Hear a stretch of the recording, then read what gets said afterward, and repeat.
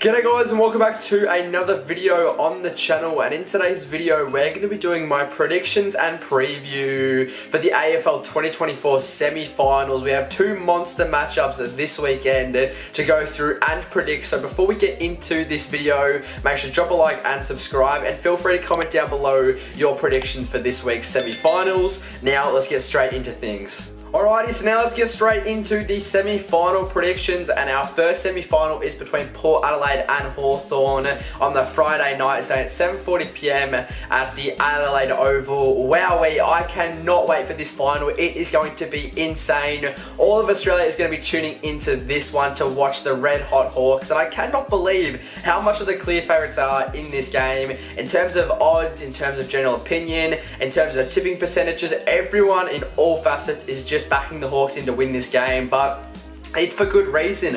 It just feels like they're becoming the real deal. They're defying all the odds and they're just playing this relentless brand of football filled with run and dare, but then also filled with such composure and cleanness. They are just the perfect team at the moment. They absolutely tore the Bulldogs a new one in the elimination final, and I feel like with the extra confidence they're going to get from that win, they're just going to be even more dangerous and just even more scary. And then also on the flip side, Port Adelaide's confidence is down. They just got smacked at home by 84 points. It just feels feels like this is the game where Hawthorn can pounce and, you know, maybe advance to a prelim final. I think a few mental demons for Port Adelaide are going to occur. You know, will it be two straight years of going out in straight sets?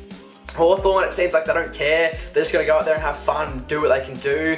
And I feel like for me, the key facet in this game is going to be the Hawks forward line. You've got, you know, these young stars that are just playing with such charisma and just such confidence and they're really lifting the crowd and lifting all their teammates. And the three I'm talking about is Jack Ginnivan, the wizard Nick Watson and C-Mac Connor Macdonald. These guys with their incredible goals, their incredible celebrations, they have really been the main turning point for Hawthorn. And I just think they're going to be incredibly dangerous in this game and I think they're going to be the key determining factor of of this result, and I do think they are going to stand up to the occasion once again. I think it's just going to be too much to handle for this poor Adelaide defence. Um, now, one part of the ground where I do think Port Adelaide will have the advantage is in the middle of the ground in terms of clearances and whatnot. Obviously, they've got Rozee, Butters if he does pull up, Jason Horne-Francis, Ollie Wines, Travis Boak. They've got some experienced guys in there who can win you the clearance and get you that first use of the football, but I just don't think it matters, honestly. I just think with Hawthorn's work rate and their just really good zones and their ability to switch the ball so quickly, I think it will make up for it. Now,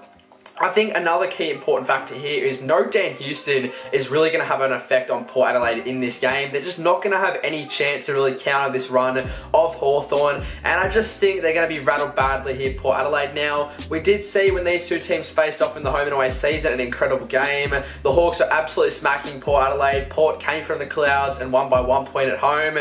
So it, it is, you never know. Uh, we, like, we know the Hawks, they like to play some chaotic football, so it can end up going either way. But I just feel like regardless of this home ground advantage, I think the Hawks are going to be too much to handle here for Port Adelaide. I think in a chaotic game and in a bit of an inaccurate game, it'll stay somewhat close, but I think uh, the Hawks will be the clear better side in this game. And I have Hawthorn winning by 22 points in this one to head through to the prelim final versus the Sydney Swans. And I have Port Adelaide being eliminated in straight sets for the second straight year. Alrighty, so now our second semi-final. It is once again an absolute cracker. We have the GWS Giants taking on the Brisbane Lions on the Saturday night, 7.30pm at ENGIE Stadium. Wowee, this one is going to be good. This one feels exactly like that semi-final back in 2019. And it could end up being a very similar game. Now, both teams are in some pretty good form recently, and I think this game is just going to be an absolute showdown. Now, in this one, I think the Lions will try and show their guns by trying to utilise their dominance in the middle of the ground. We all know Brisbane are such a great clearance side, and they're super strong around the middle of the ground. Obviously, that really good midfield with Lachie Neale, Josh Dunkley, Ashcroft, McCluggage, and a few other guys who rotate in there. We know at times the Giants' midfield isn't the greatest, so I think Brisbane are going to have a massive advantage getting their first use and the first look at the football. And for me, I think that's going to be the major difference factor in this game. We know both teams have really strong defenses, so I think this game will be relatively low scoring. We know both teams have, you know, some really good forward lines, so I just think the difference maker will be the midfields in this game, and I just think Brisbane have the upper hand. But we know the Giants, for some reason, they always find a way. You can never really count them out. And I think if it's a low scoring game, they'll be able to maybe, you know, find a way to get in front or at least stay in the contest. But I just think the Lions are going to be the better side on the night. I really have rated Brisbane this entire final series. I think at times the real difference maker is if you can win the ball at the middle. And I think Brisbane really have that ability. They also have some amazing talent in front of goal, like Cameron, Daniher, Lohmann, and Rayner. I think Brisbane will be the better side, but I think that inaccuracy woes is going to continue. And I think, obviously, we also know on the flip side of that, GWS are most of the time a pretty accurate side and they don't waste a lot of opportunity. So I think, you know, both of those things will counteract, which I think will keep the game relatively close. But I just think the Lions will hit the front late with an incredible goal, and I think they're going to win a thriller here to eliminate the GWS Giants in straight sets. I have Brisbane winning by two points to head to the MCG for a date with Geelong.